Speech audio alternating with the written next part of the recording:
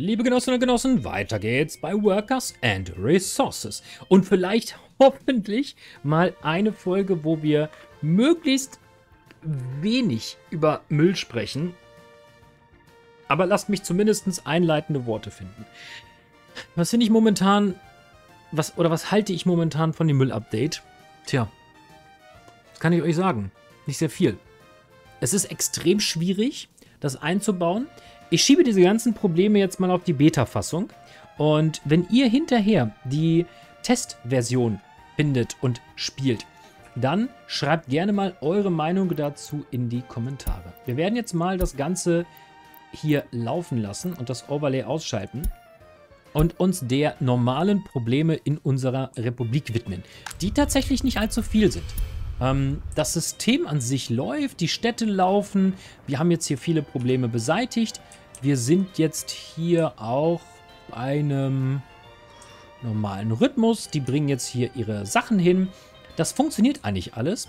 Wir könnten jetzt mit der Planung hier hinten der nächsten Stadt beginnen, aber wir wollen erstmal Kohlberg fertig machen. Wir könnten tatsächlich hier vorne eine Industrie bauen und auch hier ähm, diese Straße hier schon mal weiter machen. Ich würde hier übrigens das gleiche System wie hinten in Kohlberg planen. Wir reißen die Straße hier ab, nehmen hier die zentrale Achse in diesem Bereich, ähm, werden diese Stadt hier abreißen und werden dieses Ding ähnlich wie in Pripyat hier als neue zentrale Achse nutzen und dann einmal gucken, was hier in Zukunft an Produktion hinkommt. Und bin ich, da bin ich mir eigentlich schon relativ sicher, was wir hier machen. Hier gibt es sehr viele flache Flächen.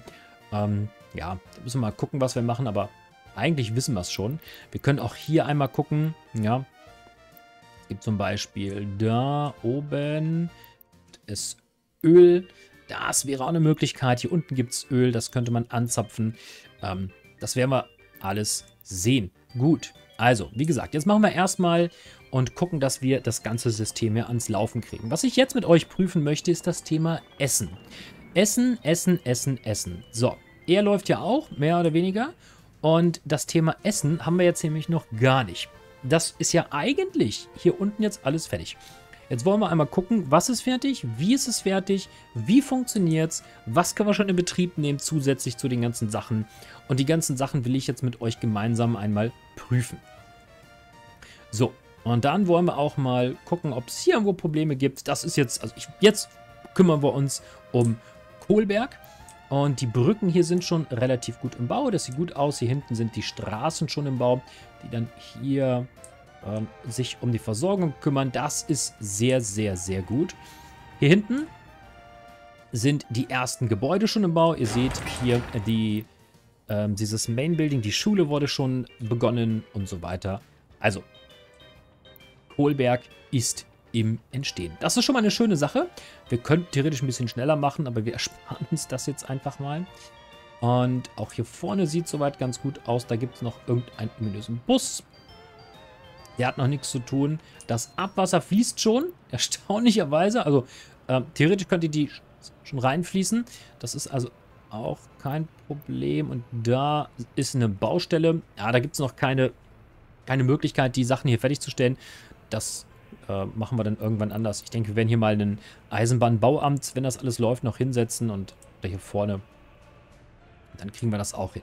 Okay, also, jetzt gucken wir uns erstmal die Nahrungsmittelversorgung in den Städten an und gucken, ob die stabil ist. Wir kriegen aber hier vorne keine Meldungen mehr. Ähm, nicht genug Tutoren, nicht genug Tutoren, Produktion gestoppt, bla bla bla. Das hat aber alles Eisennerdy Stadt. Genau. Moment. Achso, genau. Okay, das hat aber alles nichts damit zu tun, dass wir hier Nahrungsprobleme haben. Ähm, wir haben bisher keine Meldung bekommen von diesen Sachen und von daher äh, denke ich, das ist erstmal okay. Jetzt schauen wir mal. Jetzt schauen wir mal hier rein, wie das hier grundsätzlich aussieht. Ach, Moment. Ach, du grüne Neune. Ich kaufe das ja hier noch. Jo, Heidi Witzka. Äh, das ist ja gut, dass wir hier nachgucken. Ne? Wie sieht denn das hier aus? Da... Oh, da gibt es kein Essen mehr. Äh, ja. so viel zu dem Thema. Das, wir haben keine Probleme. Ähm. Okay. Äh, ist hier irgendwer... Okay, da kommt gerade ein LKW. Gibt es hier schon Züge? Nee. Dann müssen wir tatsächlich jetzt mal hier anfangen, ebenfalls die ganzen zu versorgen. Jetzt will ich einmal gucken. JKB Nerdistan Fleisch. JKB Brot Import. Belädt das beim Zollhaus. Ah, JKB Fleisch und Radio- und Schnapsimport. Okay, gut. Wir haben das Ganze noch gar nicht angeschlossen. Durch dieses Thema Müll. Ich erinnere mich, wir waren vor zwei Wochen, wollten wir mit diesem ganzen Kram anfangen.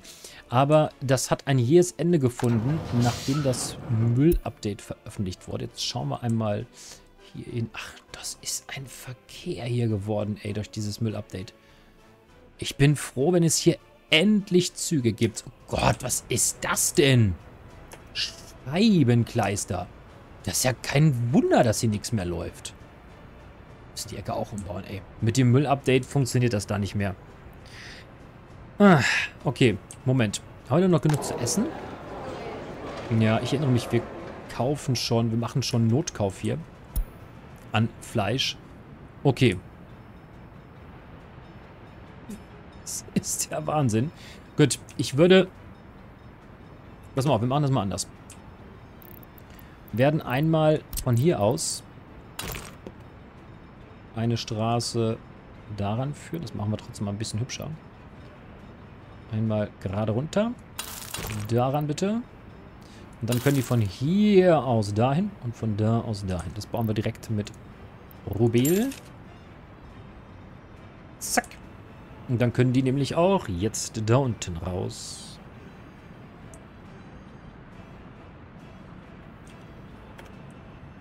Tja, zumindest müssen die einmal da lang. So, das sollte sich dann hoffentlich ein bisschen entzwirbeln jetzt auch da unten lang können. Was sie natürlich noch nicht machen. Okay. Also auf jeden Fall können sie da lang. So. Tja, was machen wir denn an der Ecke am besten?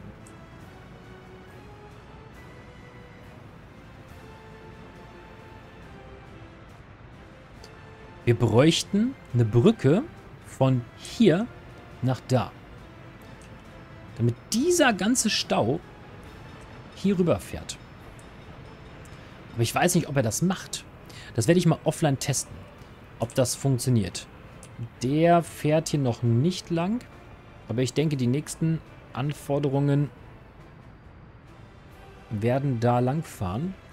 Tja, wir haben hier jetzt auch den, die Einfahrt ins Industriegebiet von da aus, ne?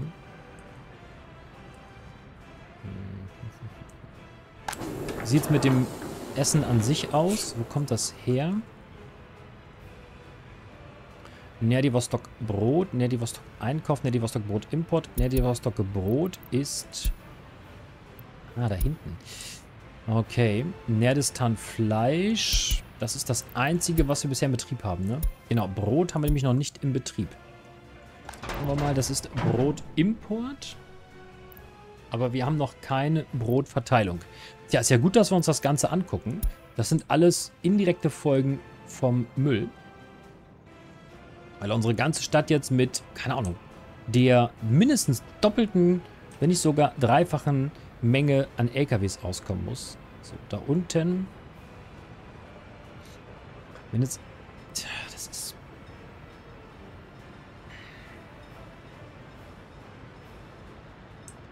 Machen wir das? Ihr könnt ja mal eure Vorschläge in die Kommentare schreiben. Das Problem ist, wir müssen, müssen eigentlich eine separate Route hierhin haben zum Müll. Ich mir das so angucke, wird das auch mit einer Brücke wahrlich etwas schwer werden. Ähm, da könnten wir hingehen. Darüber wird es schon schwer. Wir könnten den Near Snap mal ausschalten. Ich glaube, das... Versuchen es mal mit einer Brücke hier rüber. So, 6 Meter. Ne, da kommen wir nicht lang. Aber sie haben ja... Das Problem ist, die müssen hier lang, hier lang und dann fahren sie nicht da lang. Was wir machen könnten, wäre die Straße da abreißen.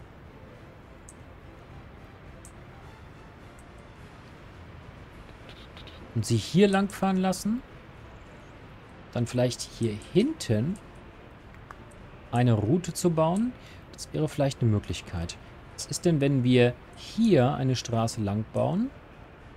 Die ihn hier umbauen? Na, da ist, das, da ist die Geheimpolizei im Weg. Müssten wir hier alle Rohre abreißen. Das ist mir auch ein sehr, das ist ein sehr großer Aufwand, weil die Rohre extrem teuer sind. So, jetzt sind die zumindest erstmal raus. Dann versuchen wir mal eine Sache. Wir werden einmal die Straße einfach abreißen. So. Dann müssen die zumindest da hinten lang. Aber zumindest das Thema schon mal. Dann ist die Frage, ob wir die Straße hier auch abreißen. Das Stückchen hier dass wir sie zwingen, da lang zu fahren.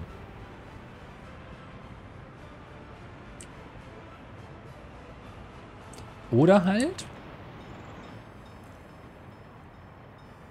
da hinten lang. Ist ja auch eine Möglichkeit. Wir machen das mal. Reißen die hier bitte auch ab. Das sieht natürlich jetzt unschön aus. Aber wir müssen gucken, dass wir den Verkehr über verschiedene Routen lenken und wir das nicht immer auf der gleichen Route machen. So. Hier. Das versuchen wir auch nochmal umzubauen. Nee, das lassen wir so. Nein, nein, das lassen wir so. Okay, dann hoffen wir mal, dass das hier ein bisschen besser wird. Jetzt wollen wir... Hier hat das Vorfahrt. Das ist okay. Das, was von hier kommt, muss warten. So, dann denke ich mal, werden wir jetzt damit schon mal durch Kreuzungsfreiheit das Ganze ein bisschen besser haben. Das ist übrigens sehr interessant, die verschiedenen Art und Weisen, wie die Entwickler das im, ähm, integriert haben. Die Fahrzeuge sind hier wesentlich realistischer. So, tja, dann hoffen wir mal, dass das ein bisschen was gebracht hat. Und dass wir dadurch natürlich auch hier den Abtransport... Nein, wir wollten heute nicht über Müll reden. Oh Gott, das ist schon wieder voll los. Nee, wir reden nicht über Müll. Gut, so, also. Kohlberg. Haben wir schon Brot drin? Wir haben Brot drin. Jetzt haben wir einmal hier Nerdistan Fleisch und Nerdistan Brot Import. Machen wir hier einmal, das ist das VZ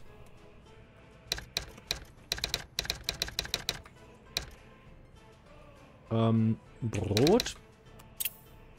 Und hier kaufen wir uns bitte... Was sind denn das? Ich glaube... Abgedeckte sind das, ne? Gesamtkapazität...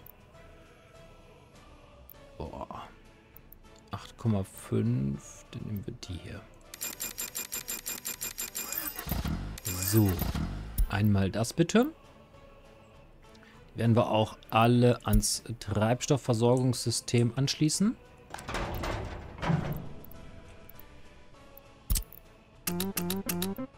So. Ist er schon angeschlossen von dort aus?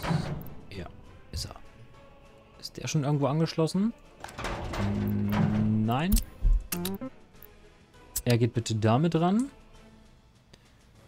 Ähm, ist er... Oh, er ist fertig. Das ist gut. Er in Kohlberg. Das ist das Verteidigungsbüro Kohlberg.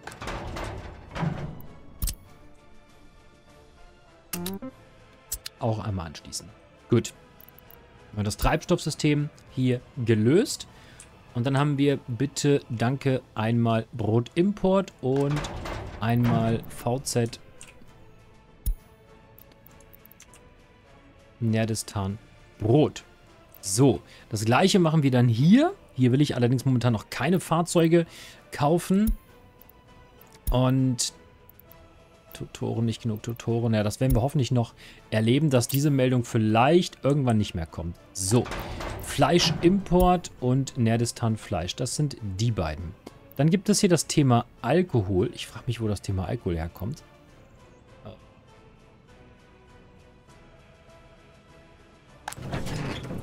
Brotimport. Wieso ist hier Alkohol drin? LKW-Laderampe.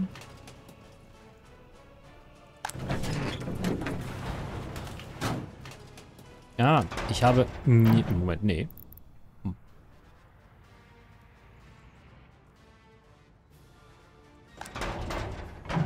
Hm. Okay, wie dem auch sei. Ist ja auch wurscht. Einmal ähm, VZ Nerdistan.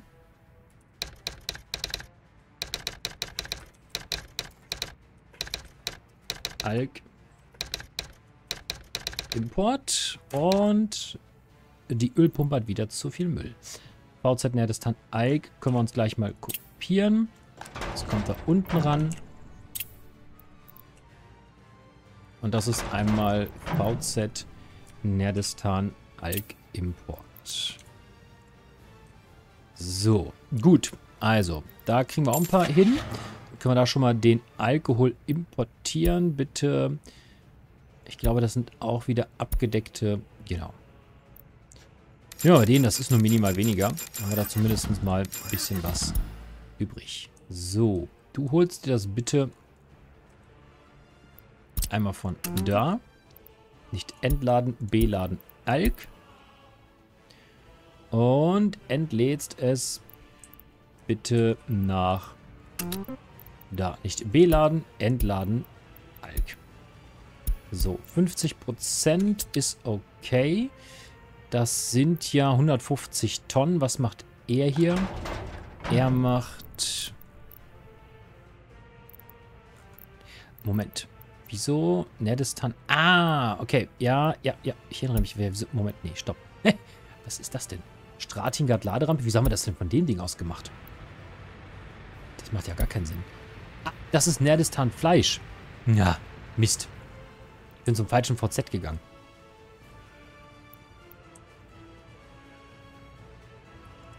Ich wollte doch Moment, Fleisch. Fleischimport. Da ist es doch. So, das haben wir auf 20%. Okay. Ja, dann ist es so. Und da haben wir einmal Brot auf 30. Nee, 50 bitte. Brotimport kann ruhig auf 50 gehen. So, und du hast auch Treibstoff. Sehr schön. Dann werden wir jetzt von hier aus einmal die Gebäude durchgehen. Das sind ja im Prinzip auch nicht allzu viele. Dabei können wir einmal schauen, wie es hier aussieht. Ja. Ja, erstaunlich gut. Es scheint ein bisschen was gebracht zu haben. Dann müssen wir die Ecke einmal irgendwann nochmal hübscher machen. Aber das sieht erstmal ganz gut aus. Damit haben wir den Verkehr jetzt ein bisschen entzwirbelt. Und können einmal hier bitte Brot hinschaffen. Ähm, nee, Schmarrn, du sollst da entladen. Brot, 30%. Passt. So, nächstes Thema. Einmal hier Brot entladen. 30%. Passt. Und einmal dort Brot entladen 30% passt. Und einmal von hier bitte beladen auf 0% runter, Brot und ab dafür. Gut, so, er wird jetzt das Brot, was die hier reinholen, dann entladen. Und ich kann euch jetzt schon sagen, die drei werden, das wird nicht ausreichen. Wir müssen hier definitiv mit dem Zug nacharbeiten. Und da werden wir jetzt erstmal ein paar Folgen abwarten, beziehungsweise eine, äh, wie sich das System einpendelt. Dann werden wir in der nächsten Folge jetzt den Brotimport von den VZs deaktivieren und dann den Zugexport oder die Zugverteilung von hier aus aktivieren. Und dann haben wir hoffentlich ein stabiles System. Hm, wenn wir jetzt die erstmal hinschaffen, äh, wir könnten dann bei Zeiten ja schon den Kauf deaktivieren. Das sind ja auch riesige Lieferkosten. Und hier haben wir JKB Brot. Ich meine, jetzt müssen wir mal gucken, was wir hier drin haben. JKB Fleisch, Radio Brot und Brotimport. Jetzt kommt Nährdistant Fleisch und Brot, Brotimport. Das könnten wir theoretisch... Ähm, wir machen das mal nur auf 10%. Das können wir bei allen schon mal einstellen. Auch hier. Nerdistan Brot Import. So. Er wird nur losfahren, wenn das hier unter 10% ist, denn er hat auf 30%. Und wenn der 30% nicht schafft, dann ziehen wir hier nochmal mit den vorhandenen Teilen, die brauchen wir nicht wegschmeißen, nochmal Brot einfach vom Zollhaus und nutzen das vorhandene System. So, das schmeißen wir auch nicht weg.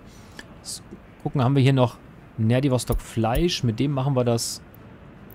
Ne, Moment, das ist die Verteilung. Haben wir noch Fleischimport, Brotimport, habe ich jetzt den richtigen genommen hier? Ja, genau. Das machen wir bei dem anderen genauso. Und dann passt das. Dann können wir uns hier mit den vorhandenen Systemen aushelfen und sagen, hey, wenn du unter 10% bist, schick mal einen LKW los und dann holst du mal von der Grenze nochmal 20 Tonnen. Dann sollte das aber auch passen. So, jetzt will ich einmal nochmal für Notfälle gucken, wie es da aussieht. Gott, ist ja alles voll hier. Ähm, ich denke, wir können jetzt das mal deaktivieren. Das ist eigentlich jetzt auch hoffentlich okay. Wie lange haben wir jetzt schon keine Kohle mehr eingekauft? Wir sind am 6. Oktober und haben noch extrem wenig Geld gemacht. Egal. Dieses Jahr 13 Millionen. Gott, wir haben so unglaublich viel Kohle ausgegeben für dieses Müllthema. Das ist der helle Wahnsinn. Ähm, dieses Jahr Import, Kohle, ja, okay, das hat jetzt relativ lange, haben wir nichts mehr importiert. Jetzt gucken wir mal, trotzdem zumindest in einer kurzen Entfernung beim Thema Müll. Ja, okay, okay, also die Umbauten haben jetzt funktioniert. Top, gut. Er funktioniert hoffentlich auch. Ja, gut. Das sollte hoffentlich funktionieren. So, dann haben wir nicht genug Tutoren. Das ist das, die Standardnachricht. Auch die Baustelle gucken wir uns nochmal an. Da hatten wir jetzt äh, auch was gebaut. Dann gucken wir gleich da vorne nochmal. Und da sind eine Menge Leute und die warten auf Asphalt und so ein Zeug. Können wir eigentlich... Hey, komm. Katharinenbock hat nichts zu tun. Einmal mithelfen, bitte. Betriat. Schrauber, Eisen-Nerdy-Stadt passt. Eisen-Nerdy-Stadt. Ach, komm hier. Und noch einmal mit ran da alle ran hier. Wir brauchen, wir brauchen das Ding. Auf geht's. Gut, das sieht schön aus. Passt. Bleiben wir einmal nochmal ganz kurz hier. 40, 50, 55. Gut. So, ich würde mal behaupten, wir haben das Müllproblem jetzt ansatzweise gelöst. Meine, meine Güte, ey. Also, wir machen bei dieser Folge ein bisschen früher Schluss nach 23 Minuten schon, weil wir jetzt erstmal, denke ich mal, die wichtigsten Themen gelöst haben. Hier ist natürlich immer noch nicht alle Tage Abend. Ich werde jetzt nochmal offline gucken, ob ich das Ding hier irgendwie hier rüber wursteln kann mit einer Brücke. Das wäre nochmal ganz gut, dann entstehen diese Stausituationen hier nicht. Das mache ich aber einmal ohne euch und werde euch dann das fertige Ergebnis zeigen. Und ich wünsche euch was, macht's gut, bis zum nächsten Mal, euer Strategiene, ciao, ciao.